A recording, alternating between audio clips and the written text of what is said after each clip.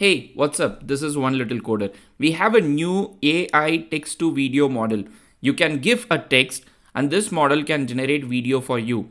Unlike the existing text to video models that are computationally expensive, which requires heavy GPU and large RAM to run, this does not require those things. The reason is because they are using the existing text to image models like Stable Diffusion to generate video. How does it happen? In the latent space, you can generate multiple frames. But the challenge has always been having the smooth multiple frames to make it a video. And that's exactly what they are handling using this model. This model is called text to video zero because this is a zero shot text to video. And in this video, I'm going to show you the model, show you a demo of Hugging Face spaces that they have hosted and also see a couple of more examples of how this works. Unlike existing models where it can generate only video from the text, which is quite obvious because it's called a text to video model. You can give a text and it can generate a video. A cat is running on the grass. You get this video. A panda is playing guitar on Times Square. You get this video. You can say a man is riding a bicycle in the sunshine. You get this video. A horse is horse galloping on a street. You get this video. This is quite common with every single text to video that we have already got. But what this model, because it's leveraging existing open source models like Stable Diffusion can also do is, it can do text to video with pose guidance, which means you have an existing video, it can estimate the pose of it from the image, and then it can generate new videos based on it. It can do text to video with edge guidance. There is a particular shape and it can detect that edge and then it can do videos. And this this actually goes and on and on. It can do text to video with edge guidance and DreamBooth specialization which means if you have got your own character you can use that and try to make a video. So that is the greatest thing about this. It can in fact do video instruct pix to pix so you have you have an input video and you can use that as a default. Just like what we saw in the gen 1 or gen 2 from runway ml it can take an input video and generate an output video. All these are possible because they are leveraging the existing model like Stable Diffusion. And as you know, this is Stable Diffusion Pix to Pix. This is from ControlNet. This is again from ControlNet. This is again from ControlNet. And this is the default text to image model that you would have done with Stable Diffusion. So how is it possible that they have managed to do this thing? And let's take a look at the paper. So what does the paper say? The title of the paper is text to video zero text to image diffusion models are zero shot video generators. So they are leveraging the existing text to image models, stable diffusion models as zero shot video generators. And what are they doing? The key modification. So, so one thing you need to remember is it does not require any training or optimization.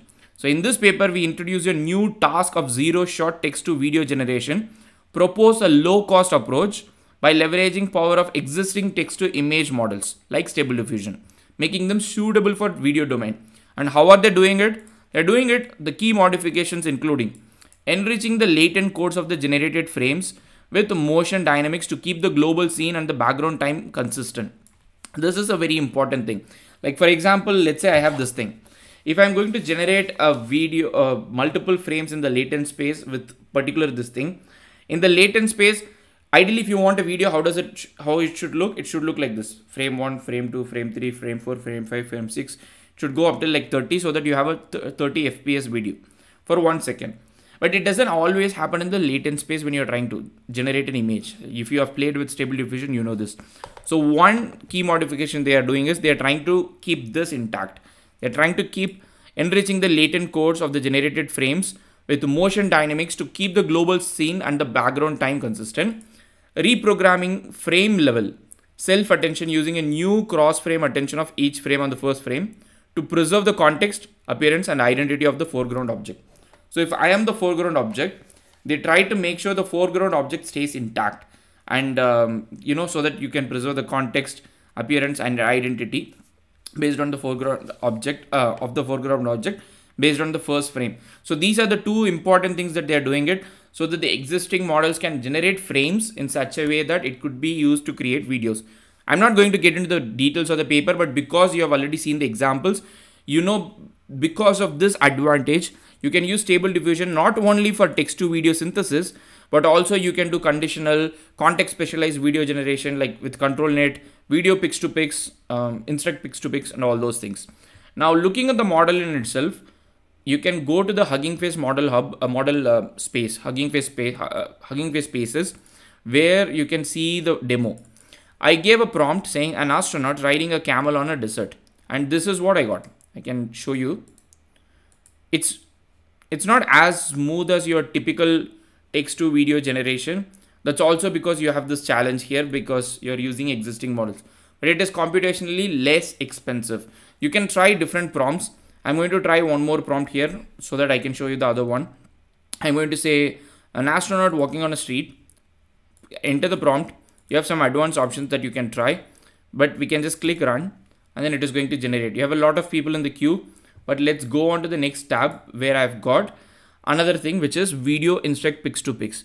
You can upload a video, give a prompt. So I can upload this camel. This is my camel and I've uploaded that video and I've said make it a Van Gogh starry night style video.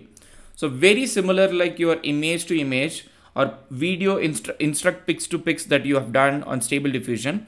So here you can upload a video and then give a style or whatever the prompt is and then you can generate the final one. You can like I can run both of this side by side. You can see how this camel is like a, now a video based on Van Gogh style video. This is quite amazing given the fact that it's not just instruct pix to pix it can do pose conditional which is you upload a video um, based on that oh this doesn't work. Okay cool. Maybe it's coming soon. This is coming soon.